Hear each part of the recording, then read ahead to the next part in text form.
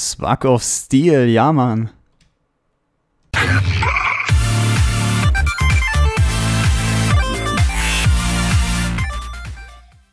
So, hallo an alle zu einer neuen Mod-Vorstellung und dieses Mal geht es um den Animated Players Mod, zufälligerweise noch in der Mod-Welt von der letzten Mod-Vorstellung, falls ihr ihn noch nicht gesehen habt. Das war der Pharao World Mod, wie ihr gerade sehen könnt, sehr geil. Ist in der Videobeschreibung verlinkt, beziehungsweise ist in der Mod-Playlist zu finden, die ist auch überall hier, tralala, verlinkt. Findet ihr schon, eventuell mal in der Beschreibung schauen. So, dann ähm, geht es dieser Folge allerdings nicht darum, sondern um es geht um den Players, äh, Quatsch, Animated Players Mod. Den habe ich jetzt gerade drin, das heißt, ähm, ja, da hier, es geht um unseren Steve-Skin. Wir werden die meiste Zeit jetzt hier in F5 verbringen und nicht hier im Normalfall. Einerseits von hinten, andererseits von vorne. Und äh, ja, da gibt es jetzt ganz, ganz tolle Sachen, die es hier zu tun gibt. Ich gehe mal nach hier vorne, man kann es jetzt schon gleich sehen, am Skin so ein klein bisschen. Ähm, ich fange mal an mit Laufen bzw. Sprinten. Okay, wie ihr es gerade sehen könnt, wenn ich jetzt unter 5 drücke, so läuft der Spieler im Normalfall mit dem Mod äh, ein wenig animiert. Sehr, sehr geil umgesetzt, finde ich jedenfalls. Und ähm, Sprinten geht dementsprechend dann ähnlich. Momentchen, das geht dann so. Wow, sieht schon relativ genial aus fürs Verhältnis. Ich mache das nochmal aus dieser Sicht. Normal laufen. Man sieht, wie die Arme und Beine angewinkelt werden und Sprinten genau das gleiche, dementsprechend nur ein bisschen schneller. Arme und Beine werden angewinkelt, also dementsprechend angepasst. Das ist noch das harmloseste von der ganzen Geschichte. Ähm, ja. Punkt 2 ist ähm, Schleichen. Sieht ähm, so aus. Man schleicht sich so genüsslich von der Seite an, hier so zum Beispiel an die Mobs, wenn man von hier unten so rankommt. Guckt hier so einen Block versteckt, da oben, da läuft hier so ein da, Bandit rum, von hinten anschleichen und dann, da, jetzt habe ich gesehen, scheiße. Ja, auf jeden Fall, das ist ganz geil eigentlich umgesetzt. Von vorne sieht es ein bisschen komischer aus. Ähm, wenn du so läufst, sieht so ein bisschen, ja, breitbeinig aus und äh, Po nach hinten rausstreckmäßig. Jedenfalls, das wäre noch diese Animation. So, da hat der Mod noch eine weitere Animation nebenbei. Ich finde das übelst geil. Springen seht ihr gerade, also das ist noch ein bisschen komisch umgesetzt. Das ist nämlich so eine Mischung zwischen freiem Fall. Also wenn ihr irgendwo runterfallt, so wie hier zum Beispiel einen Anlauf nehmen, dann Jump uh, dann, dann im, im Flug spreizt ihr so die Arme und Beine. Unter anderem auch, wenn man Creative Mode fliegen tut.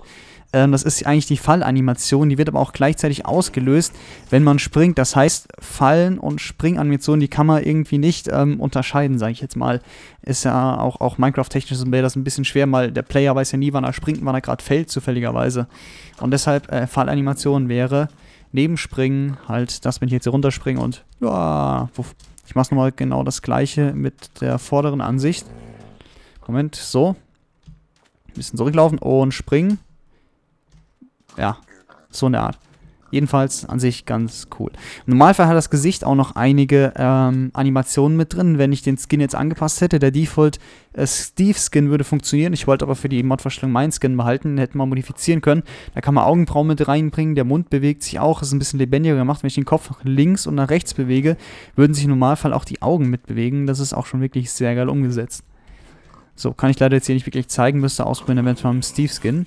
Dann als nächstes ähm, Schlagen mit ähm, Bogen bzw. Schwert. Dazu gehe ich mal wieder hier in die ähm, F1-Ansicht. So. Ähm, sieht dementsprechend jetzt so aus. So ein bisschen. Sieht ein bisschen komisch aus. Blocken oder Aufladen war sowas in der Art irgendwie. Ähm, bei der Axt hatten wir jetzt den Vorteil, das war halt noch im letzten Mod, aber da konnte man so zurückpunchen, ist so aufgeladen hat. Bleib stehen. Na, bleib stehen, bleib stehen. Komm schon, komm schon, aufladen. Zack. Genau, mitten ins Gesicht. Erstmal so schön. Ah, funktioniert irgendwie gerade. Ich muss richtig zielen. Ich, ich treffe bei F5 wahrscheinlich nicht. Genau. Okay, so. Das war damit. Ich probiere es aber nochmal mit dem Diamantschwert gerade, um das ein bisschen zu zeigen. Ähm, so. Ist nämlich jetzt hier. Zack. Zack. Na, komm schon. Komm. Nur die Animation so ein bisschen. An sich eigentlich ganz geil, finde ich, gemacht. Blocken sieht so aus. Also richtig hier so, ah, greif mich nicht an oder ich block dich ab. Also richtig genial. Das, das ist ganz okay noch. Das ist so eine, wirklich so eine Erwartungshaltung. Na, was machst du? Na, was machst du hier? Und dann zack, einmal zugeschlagen. Naja. Und blocken und schlagen, also dieses Schlagblocken, das sieht dann, sieht so aus, das ist eigentlich schon fast ein Tanz. Ja genau, Harlem Shake. so nach dem Motto.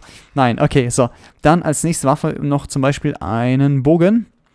Den äh, schnappen wir uns auch mal gerade, der wird auch normal so schön mitgetragen. Und beim Spannen sieht man jetzt, wie der linke Arm auch tatsächlich dann den Pfeil zurückzieht und die Sehne da spannt. Ist gar nicht richtig geil umgesetzt. Von hinten würde ich es gerade mal so zeigen. Äh, nein, so, Moment. Auch ganz geil, finde ich, ist geworden. Und das Tolle ist jetzt, äh, theoretisch im Creative Mode kann man so rumspringen, im Flug dann schießen. äh, sneakend landen. Von Animationen her ist das sehr geil. Ja, ich, ich spann die Bögen nicht weit auf, so man nicht viel Schaden gerade. Egal. Schon sehr, sehr geil. Muss sich so anschleichen, in Anführungszeichen, ja. Ja, da oben sind diese Raves. Und dann zack. Erwischt. So, ja, das ist richtig cool umgesetzt. Zack. Nein, nicht, nicht getroffen. Problem ist, F5 trifft man nicht so gut. Ja, ist ein, bisschen, ist ein bisschen schwer. Da müsste ich hier schon wieder den, den nehmen. Da trifft man nämlich besser. Zack. Der fliegt nämlich exakt gerade. Wenn man es mal so bedenkt. Zack. Der trifft dann eigentlich fast immer. Wenn man dann auch richtig ziehen kann, den Schrein. Ja, das ist an sich sehr geil gemacht. Richtig super Hero-Style. Kannst du rumrennen. Zack, schießen. Es ist richtig cool, richtig, richtig, richtig cool. So, bei den Speeren kann man das vielleicht so nochmal sehen. Hier so aufgespannt, dann zack, Speer schmeißen, sehr unspektakulär, weil das wieder extra Mod ist und ist wieder nicht mit inbegriffen gewesen. Naja, gut. So viel mal zum Thema Schlagen und Bogen. Dann als nächstes gibt es noch der, die Option Schweinreiten. Und zwar, man kann sich auf ein Schwein draufsetzen und das Vieh reiten. Geht am besten mit einer ähm, Carrot on a Stick.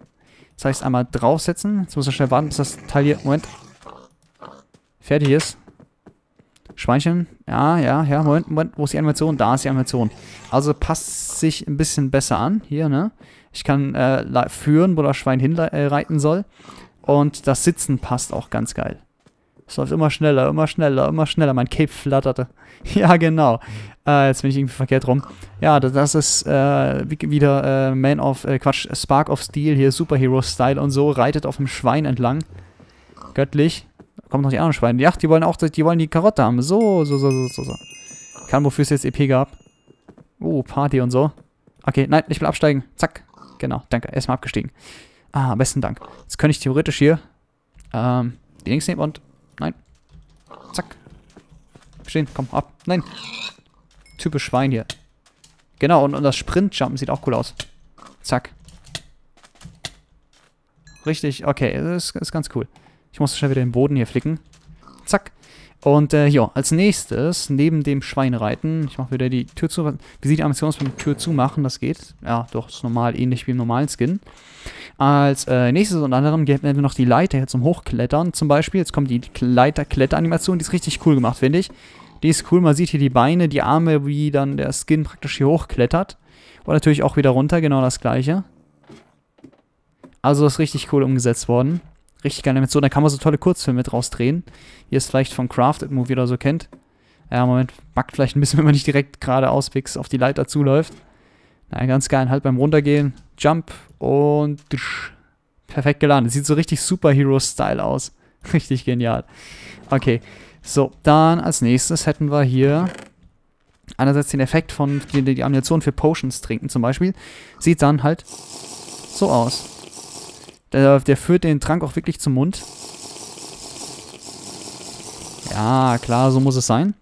Und äh, ja, ich gehe mal kurz in den Game Mode ähm, 0. Machst du mir gerade mal ein bisschen Schaden, werter Hund. Genau, das wäre ganz cool. Problem ist halt der Regenerationstrank, der geht jetzt ab. Ich wollte nämlich mal hier gleich ähm, den goldenen Apfel probieren. So, Moment. Äh, jetzt habe ich hier gerade, ja, die Viecher auf mich gelockt, aber egal, macht nichts. Ich brauche hier nämlich gerade, nein, nein, nein, goldenen Apfel, danke, danke, danke. Ich wollte noch die Essensanimation zeigen und dafür fliege ich gerade mal irgendwo hier oben drauf wo ich jetzt gerade ein bisschen unerreichbar bin für die äh, Viecher. So, jetzt bin ich ja noch angeschlagen. Jetzt kann ich erstmal Game Mode 0 und den Apfel essen. Da bewegt sich auch noch der Kopf mit. Nom, nom, nom, nom, nom, so in Anführungszeichen. Richtig schön gemacht, finde ich. Und äh, ja, das wäre schon fast, äh, fast schon die Sache von dem Mod. Jetzt am Schluss kommt noch die beste Animation, die habe ich mir zum Schluss aufgehoben. Ähm, die Animation ist eigentlich wirklich genial. Göttlich das Beste, was in dem ganzen Mod drin ist. Muss ja aber eine andere Welt, weil in der Wüste gibt es das leider nicht. Und dann sehen wir uns jetzt gleich. So, dafür bin ich gerade mal meine alte Tutorial-Wüste noch geflüchtet, äh, wo sämtliche Minecraft-Tutorials rumstehen, zu denen ich auch schon Videos gemacht habe. Ähm, über 100 Stück sind das schon gewesen. Ich weiß, es kommen letzte Zeit keine neuen mehr. Ich finde aber, irgendwie, ich habe so viel schon gemacht, so viel ausgereizt. Ich habe kaum noch vernünftige Sachen an Ideen, sage ich jetzt mal. Wenn mir wieder was einfällt, dann kommt noch was. Ich glaube, ein paar Sachen habe ich noch hier irgendwo stehen. Aber im Moment äh, geht Studium auch so ein klein bisschen vor. Äh, FTPs normal Let's Plays, die sind ein bisschen einfacher als ein Tor vorzubereiten. Naja, egal. So, die beste Animation, die ist jetzt, ihr könnt es euch denken, schwimmen. Pass mal auf hier. Und Jump. Uff, zack, einmal tauchen. Wie geil, wie geil ist das denn? Das ist einfach nur göttlich. Richtig genial gemacht. Da kann man richtig geile Kurzfilme zum Beispiel draus drehen. Einfach Vollbild machen, F8 draus und dann geht das Ganze doch schon. Yay. Tauchen. Ist halt sehr dunkel unter Wasser dann. Und nach oben rausschwimmen wieder. Schwimmanimation ohne Witz. Best überhaupt. Ganzen Mod. Das ist richtig, richtig gelungen, finde ich. Ja, ja, ja, ja. Göttlich. Okay. Ja, so viel wäre es auch schon für diesen Mod gewesen, eigentlich. Ich bedanke mich fürs Zuschauen. Wenn ihr Interesse habt an anderen Mod-Vorstellungen, zum Beispiel dem letzten Mod oder noch bei anderen Sachen wie Animal Bikes oder was haben wir da noch, Mining World und was auch immer, findet ihr in der Playlist alles verlinkt. Schaut gerne mal rein. Ich verlinke euch auch immer wieder am Ende dieses Videos jetzt hier weitere äh, Mod-Vorstellungen, wo ihr reingucken könnt. Ich mache das mit Absicht, damit ihr reinschauen könnt. Macht mir die Mühe. Und äh, ja, würde mich freuen, wenn ihr noch reinschaut. Wir sehen uns dann, würde ich sagen, in dem nächsten Part. Bedanken fürs Zuschauen. Sehr, sehr geiler Mod übrigens. Ihr könnt gerne noch bewerten, wie ihr den findet. Schreibt mir eine Zahl von 1 bis 10. 10 beste, 1 schlechteste in die Kommentare. Ich finde ihn extrem gelungen. Der ist Multiplayer-tauglich. Ihr müsst, nur ihr müsst ihn installiert haben und ihr könnt das äh, gleich schon, oder das wird gleich schon umgesetzt. Ist nämlich ein klientlastiger Mod. Das heißt, der ist auch, auch auf Server sichtbar dementsprechend. Ja, wo ihr den findet, Link in der Beschreibung. Installationshinweise gibt es auch auf der Seite, aber relativ einfach, einfach Mods ordnen, ziehen, wenn ihr Forge installiert habt. So, dann sehen wir uns in einem nächsten Part und dann tschüssen.